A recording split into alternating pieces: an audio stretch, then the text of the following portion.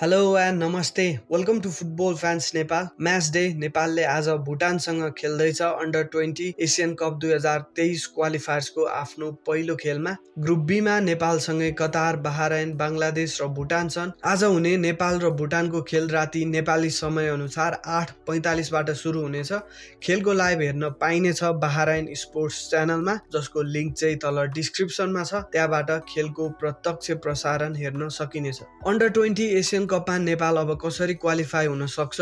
हाम्रो ग्रुप कतिको बलियो छ र यो प्रतियोगिताको हिस्ट्री के कस्तो थियो भन्ने बारेमा भिडियो बनाइसकेको छ। त्यो हेर्नुभयो भने सबै कुरा थाहा हुनेछ। च्यानलमा रहेको योभन्दा अघिल्लो भिडियो हेर्नु होला नभए डिस्क्रिप्सनमा पनि लिङ्क राखिएको छ। त्यहाँबाट पनि हेर्न सकिनेछ। आज नै हाम्रो ग्रुपमा रहेको होस्ट बहारायन र बङ्गलादेशले पनि खेल्नेछन्। हामी सबैले नेपाल अन्डर ट्वेन्टी टिमले साफमा गरेको पर्फर्मेन्स देख्न पाएका थियौँ। नेपालले साफ अन्डर ट्वेन्टीमा मलदिप्सलाई फोर जेरोले जितेको थियो श्रीलङ्कालाई थ्री जेरोले हराएको थियो बङ्गलादेशसँग वान वानको ड्र खेलेको थियो र इन्डियासँग चाहिँ एट जेरोले हारेको थियो। इन्डियासँगको ठुलो हार बाहेक नेपालको पर्फर्मेन्स चाहिँ साफ च्याम्पियनसिपमा राम्रो नै थियो। उत्कृष्ट लङ रेन्ज एटेम्प्स र गोलहरू पनि हेर्न पाएका थियौँ। नेपाली टिम अझै बलियो भएको हुनुपर्छ यो बिचमा र अन्डर ट्वेन्टी एसियन कपमा छनौट हुन सक्ने सम्भावना चाहिँ राम्रो नै छ नेपालको।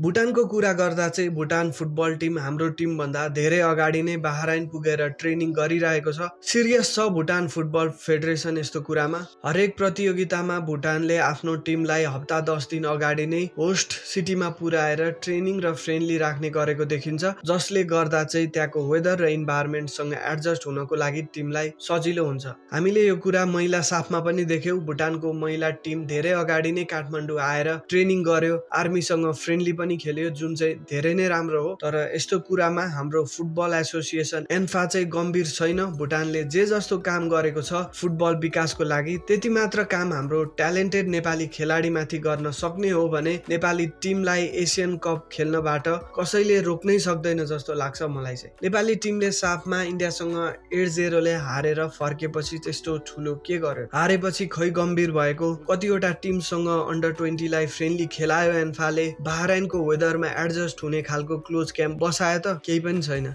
हार्यो ठुलो पाठ सिक्यो भन्यो सक्यो। अहिले अन्डर ट्वेन्टी नेसनल टिमबाट खेलिरहेका कतिपय खेलाडीले दुई हजार उन्नाइस इन्डियामा भएको साफ अन्डर फिफ्टिन खेलेका थिए। त्यो बेला फाइनल पुगेको नेपाललाई एन्फाले केही रकम दिने घोषणा गरेको थियो तर खेलाडीहरूले त्यो पुरस्कार आजसम्म पनि पाएका छैनन्। त्यही पनि खेलाडीहरू खेलि नै रहेका छन्। चौध पन्ध्र वर्षको सानो उमेरदेखि नै पुरस्कारमा ठगिन सुरु भइसक्दा पनि देशमा खेलेर पैसा कमाउन गाह्रो छ भनेर थाहा पाउँदा पनि खेलाडीहरू खेलेकै छन्। हार्दा फ्यान्सहरूले गाली पनि गर्छन् तर पनि उनीहरूले फुटबललाई गरेको मायाले नै देशमा फुटबल चल्दैछ। आशा छ एन्फाले घोषणा गरेको पुरस्कार छिटो दिनेछ। घोषणामा नै सीमित नबनोस् र एन्फाले पुरस्कार नदिने हो भने सक्दैन भने फुटबल खेलाडीहरूलाई सानो उमेरदेखि नै मन दुखाउने र ठग्ने काम बन्द गरोस्। यो भिडियोमा चाहिँ यति नै। Keep loving Nepali football. And thanks for watching football fans Nepal